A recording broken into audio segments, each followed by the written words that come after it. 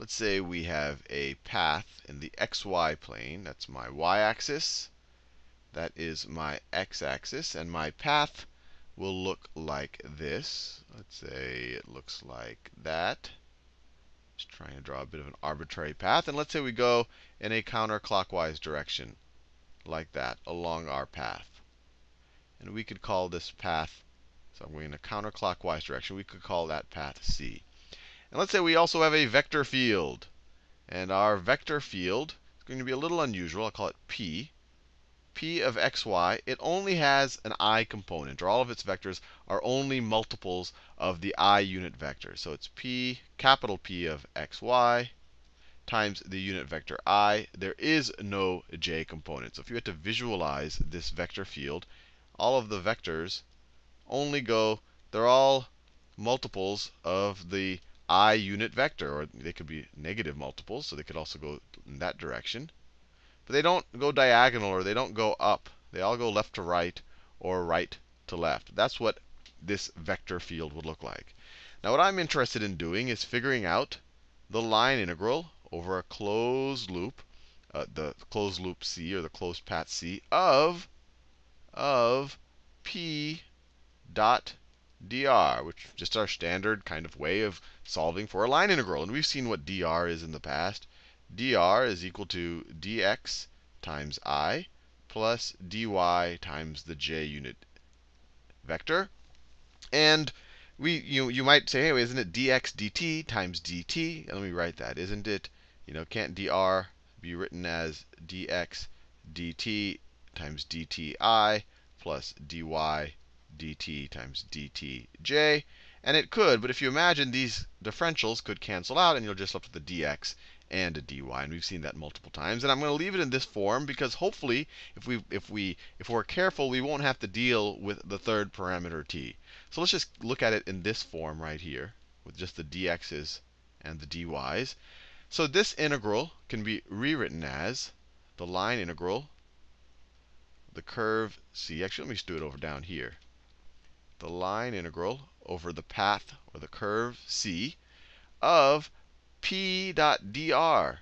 So we take the product of each of the coefficients, let's say the coefficient of the i component. So we get p, I'll do it in green. Actually, let me do it in that purple color. So we get p of xy times dx plus, well, there's no 0 times j, times dy. 0 times dy is just going to be 0. So this, our line integral simplified to this right here. This is equal to this original integral up here. So we're literally just taking the line integral around this path.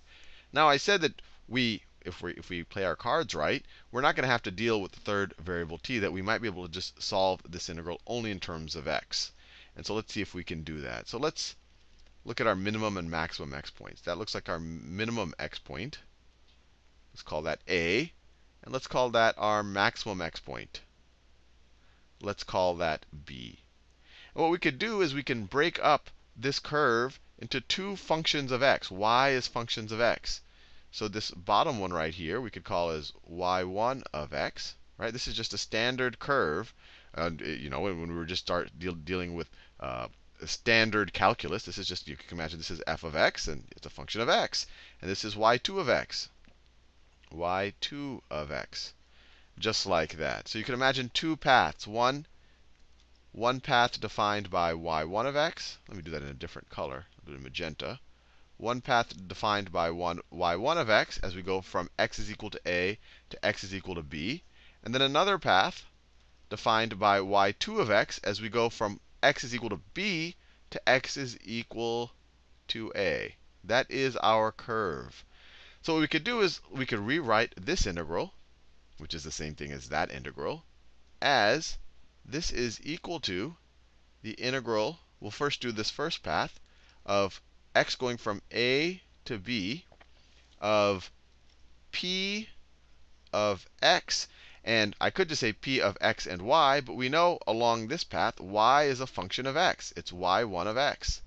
So we say x and y1 of x. Wherever we see a y, we substitute it with y1 of x dx. So that covers that first path. I'll do it in the same color. So this is That is, we could imagine this is c1. This is kind of the first half of our curve. Well, it's not exactly necessarily the half, but that takes us right from that point to that point. And then we want to complete the circle. Maybe I'll do that. And that is going to be, I'll do that in yellow.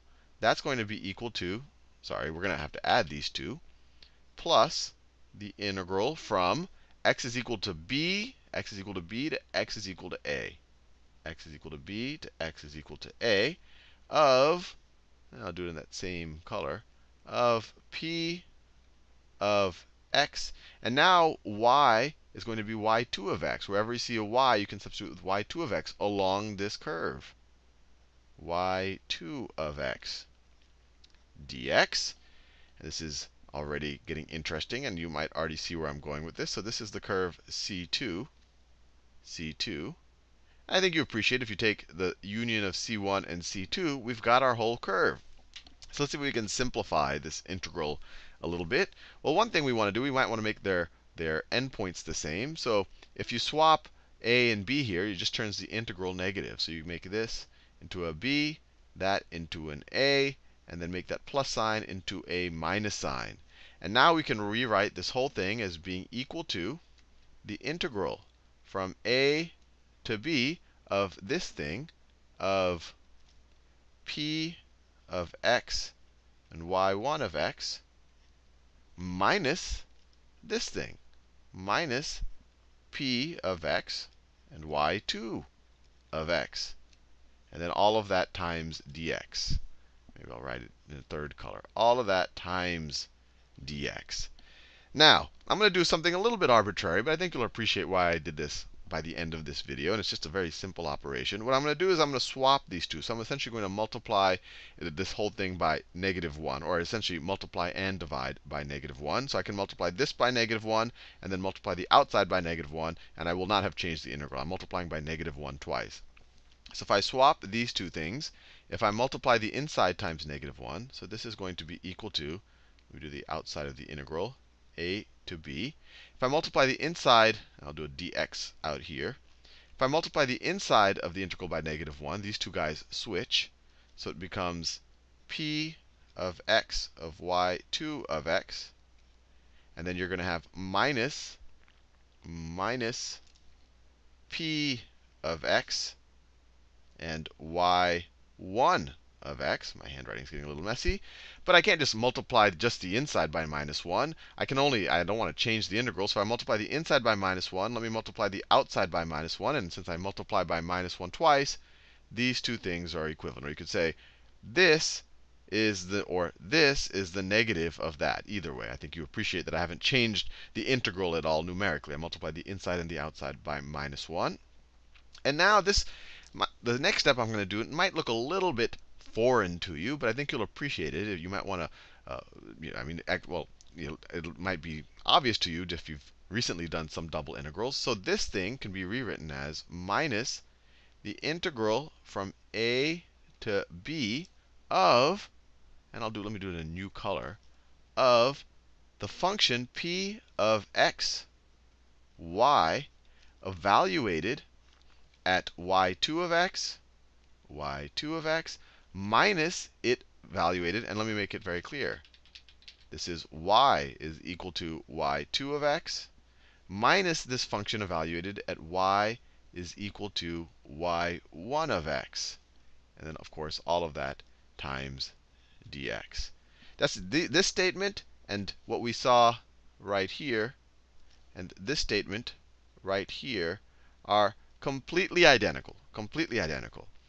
And then if we assume that this that a partial derivative of p with of capital P with respect to y exists, you can you'll hopefully you'll realize, and I'll, I'll focus on this a little bit because I don't want to confuse you in this step. Let me write the outside of the integral. So this is going to be equal to, and this is kind of a neat outcome. And we're starting to build up to a very neat outcome, which we'll probably have to take the uh, next video to do. So let me do the outside dx. This right here, if we assume that capital P has a partial derivative, this right here is the exact same thing. This right here is the exact same thing as the partial derivative of P with respect to y dy, the antiderivative of that, from y1 of x, y1 of x, to y2 of x. Now I want to make you I want to make you feel comfortable that these two things are equivalent. And to realize they're equivalent, you probably just have to start here and then go to that. We're used to seeing this. We're used to seeing a double integral like this. And then the very first step, we say, OK, to solve this double integral, we start on the inside integral right there. And we say, OK, let's take the antiderivative of this with respect to y. So if you take the antiderivative of the partial of p with respect to y with respect to y, you're going to end up with p.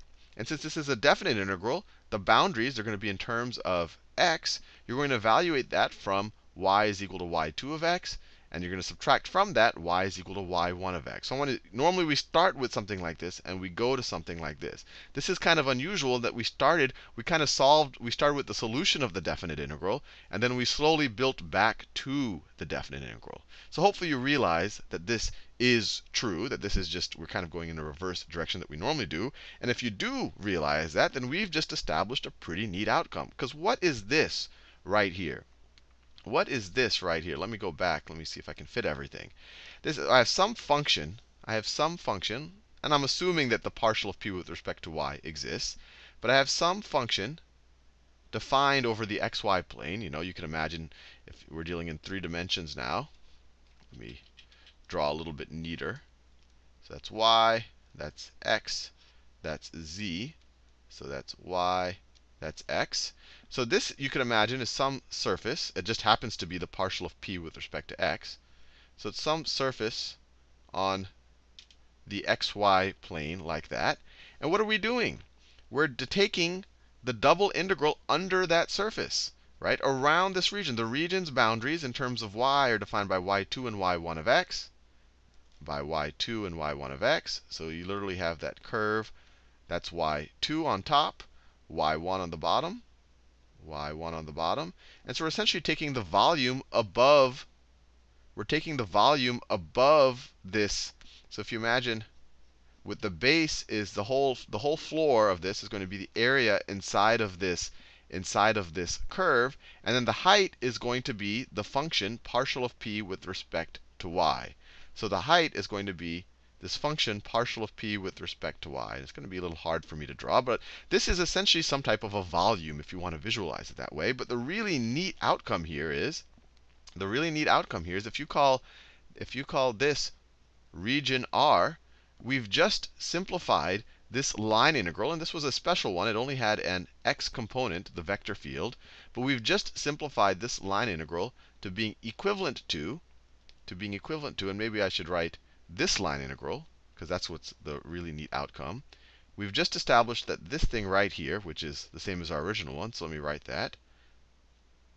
The closed line integral around the curve C of p of x, y dx, we've just established that that's the same thing as the double integral, as the double integral over the region R. This is the region R. Over the region R over the region R of the partial of p with respect to y.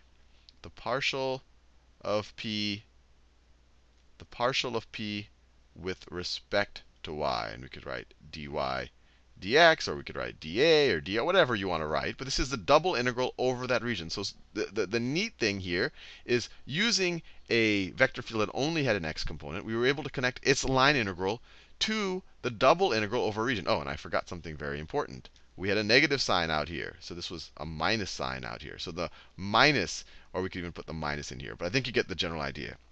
In the next video, I'm going to do the same exact thing with the vector field that only has vectors in the y direction. And then we'll connect the two, and we'll end up with Green's theorem.